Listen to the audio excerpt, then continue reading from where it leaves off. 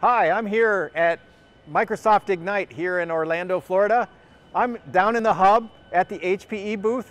We have a really interesting demo on Azure Stack Hub that you might want to see. One of the reasons people want to use Azure Stack Hub is the cloud on the edge is they want to deliver applications that respect privacy or maybe regulations where data, sensitive data, needs to be kept locally and not transferred up to the cloud.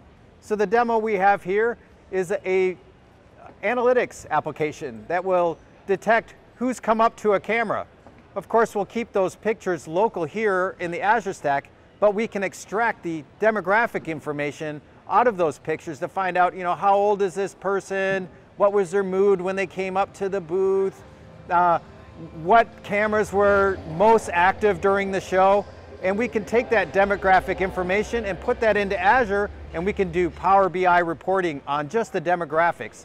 So the information of uh, who's visited the booth can be in the public cloud, but the personal information, including the photos of the people that have come up to the booth, all can stay within that Azure stack and be kept uh, uh, to meet whatever regulations or obligations that you have uh, on uh, the edge.